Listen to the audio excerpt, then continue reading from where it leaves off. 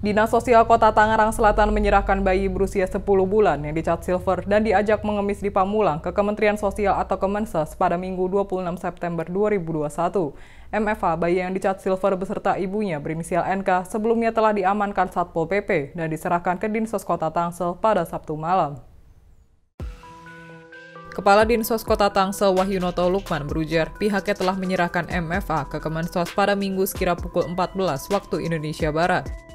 Kemensos lantas menitipkan MFA ke Balai Rehabilitasi Anak di Kota Bekasi, Jawa Barat. Penyerahan itu dilakukan saat Kemensos menjemput langsung MFA dan juga NK di rumah singgah Dinsos Kota Tangsel. Menurut dia, pihaknya tidak dapat mencegah Kemensos untuk menjemput MFA dan NK. Pasalnya, kata Wahyunoto, pelayanan hingga penanganan yang diberikan memang lebih baik dilakukan oleh Balai Rehabilitasi Anak tersebut.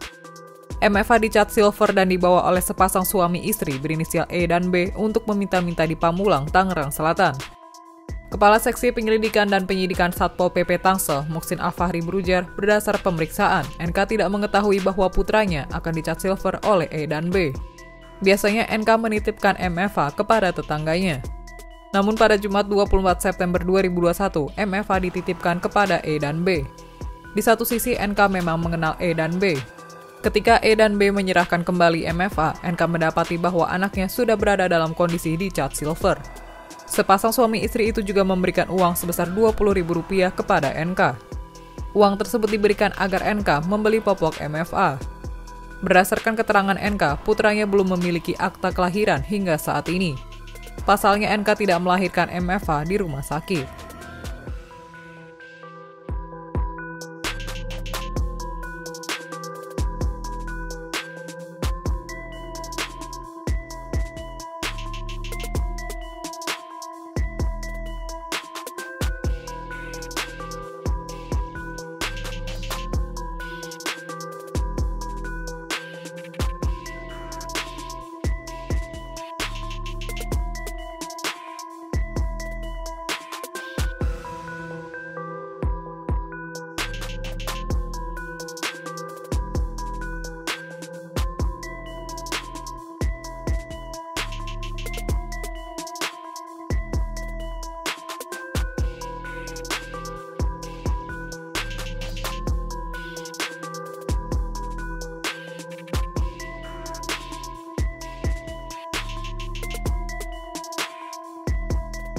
Demikian informasi dari Tribun Jateng Update. Saksikan terus Tribun Jateng Update hanya di channel YouTube Tribun Jateng.